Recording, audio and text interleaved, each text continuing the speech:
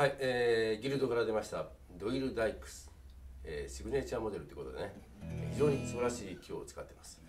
えーサイドバックは、えーそうですねキルテッドビッグリーフメープルということでこの本当にね、メープルの中でもこう、えなかなか見ないような良い木を使ってます、えー音も華やかだし芯があって非常にあのなんですかね、えーメロディーが際立つようなギターになっております。